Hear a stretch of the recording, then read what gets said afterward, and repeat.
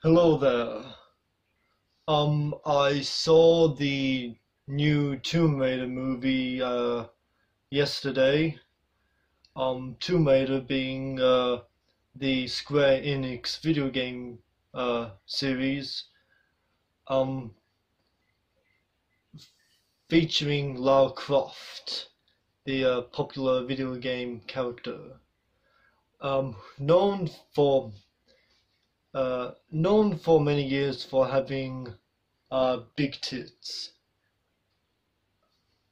Um, I'm not gonna talk all that much about Lara Croft's uh, tits. Uh, by the way, just that's just me trying to be funny. So if it failed. Um, now, uh, now this being a video game movie, um, video games have not always made uh, the best movies uh, because there was that um, Tomb Raider movie from like uh, last decade starring uh, Angel- Angelina Jolie. And that for a while that was the highest grossing video game movie.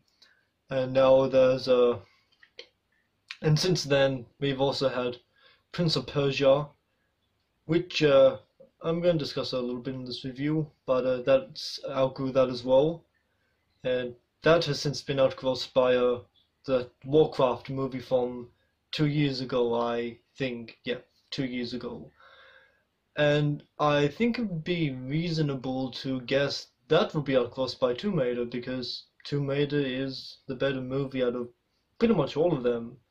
In fact, uh, not to say, in fact, uh, Tomb Raider might actually be the uh, the best video game movie released so far. Uh, damping with faint praise, I know, but I do think that there is some legitimately good things about this movie. Not to say that it's a masterpiece. In fact, I think you can argue whether or not it's good at all. But I think that um okay, what uh okay, with video game movies, um, okay, you, there are lots of things you can adapt into a movie from. You can adapt a movie from TV series, comic books, uh, normal books, but uh, video games, that's no one has been uh, truly good yet. Because there are a lot of things that you need to uh, translate from um, a video game that's not wouldn't normally have a place in uh, a film narrative because you've also because uh, you've you've got uh, power ups, you've got uh, like um those things that you find all all, all, all over the place. Uh, video games are very uh, goal based. Um, now movies can be all those things too, but a movie can be more. Um, fuck, I don't even know, know how to say this, but um, uh, generally, okay. Um, for a while, Prince of Persia was probably the best video, video game movie because it didn't really adapt the games. It, re- it more or less created a new story and added elements from the games into that movie. Specifically, the uh, Sands of Time video game series, which I am a fan of. Um, Tomb Raider is not a series that I've played all that much. I except for Tomb Raider Legends, I do have the I do have one of the uh, earlier earliest PlayStation games. Uh, um, right here, Tomb Raider, uh, Tomb Raider Two. Haven't actually played it yet, but it is uh, I I intend to. I there's a lot of things that I want. A lot of there's a lot of media I want to absorb, but you know you've only got so much You've only got so much time on your hands, and uh, unfortunately, I haven't played Lara Croft yet. But no, maybe someday I'll get to it. Maybe I can. Maybe I should make a series out of it and put it on my channel. If you let me know down in the comment section if you'd like to see me start a Let's Play series. Oh man, look at it. And they really uh look at look at look how big they made it made it tits. That's a uh, well different time. But mm, let's stop talking about video games for a moment and talk about the movie because this movie is uh, it's it's there are good things about it. I think Alicia Vikander she does a really good job as Lara Croft. Um, if you you might remember her from Ex Machina. Um, if you haven't seen Ex Machina, fix that. Fix not having seen Ex Machina because it deserves to be seen by everyone. Like, like stop this video right now, pause it, go on uh, Netflix or wherever you can watch an Ex Machina and watch Ex Machina and then come back here because Ex Machina has to be seen. Okay, uh, eh, um, Tomb Raider, um, is it's competent enough. It's well made. It's well directed. Um, it incorporates some. Like I said, I haven't played the video game series that much, but I do know um what the game is a, is about, and the movies incorporates all those elements in well enough from my understanding. If you're a big fan of the video game series, um, you might be a bit more critical of this, but for me, I think it does the job well enough, even if it um, not even if this isn't a very positive review. I do think that it has lots of areas to improve, which is main, which is I think the most positive thing you can say about this movie that it can be it can be better. Not saying that this is outright terrible. In fact, I think it's uh, pretty far from outright terrible.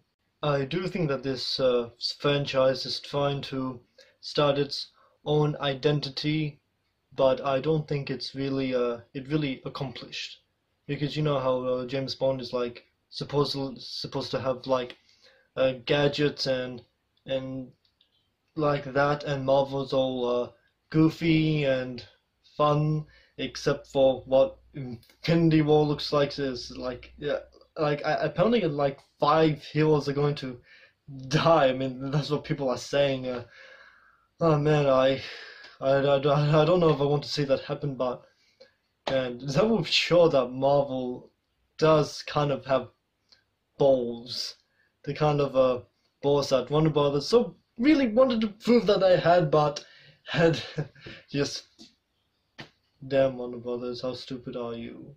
Wait a second, was this movie made by Warner Brothers as well? I have to check that. I think it was. Yeah, I think it, I think it was. but yeah, about this style, it seems to want to go for a gritty realism thing, which is fine, but um, I don't think they really did it all that much. I mean, there was the scene where uh, Lara, no, no, not to spoil so much, but she does get um, a piece of metal stuck through her, and she kind of just pulls it out, and it's like it never really happened, which is uh, you know, I'm fine. You know, I I don't need uh, this doesn't need to be a very uh, but I think it would be more interesting if uh, the injuries maybe kept building up and creating and like rising the tension, but um, it isn't really like um, no, and, that's not that's not very uncommon in action movies. Like in the first Mad Max, Mel Gibson gets his leg blown out. He's wearing a leg brace in the sequel, and he still uh, t- tightly bandages the knee in Beyond Thunderdome. And also in Road Warrior, he gets an eye injury, and the eye injury is still apparent in Beyond Thunderdome. So, like, it's not um. Okay, the, point is that does not happen in action movies. Why not make your action movie stand apart by actually doing something like that? I mean, if she wins at the end, you can just have her like go on a steady road to complete recovery. I mean, that's there's no that wouldn't be terrible. And unfortunately, the plot's not all that great.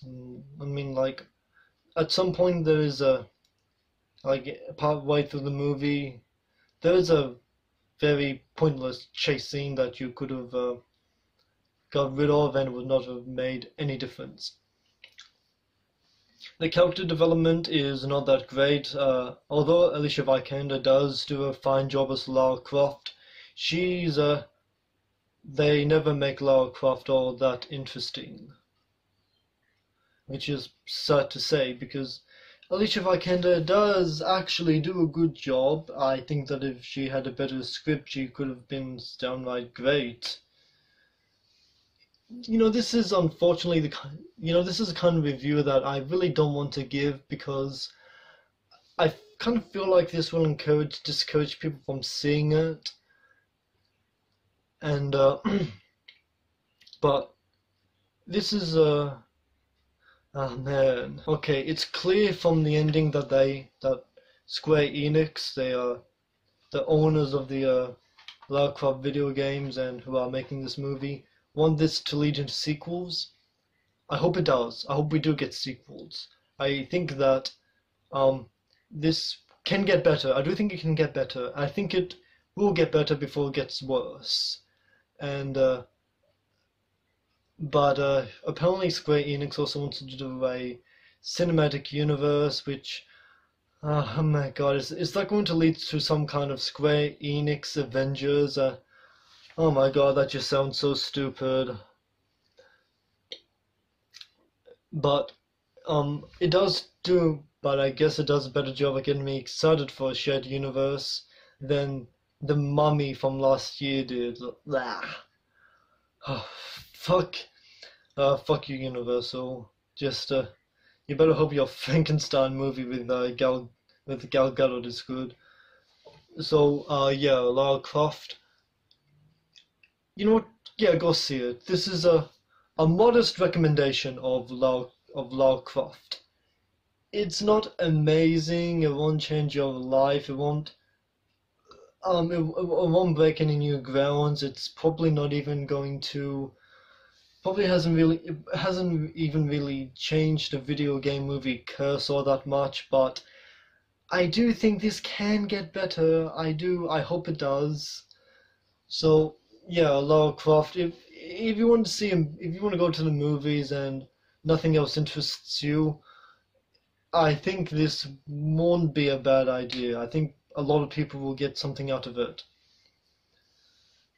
so, yeah, Lara Croft. Um, I don't even know what else to uh, end on other than um,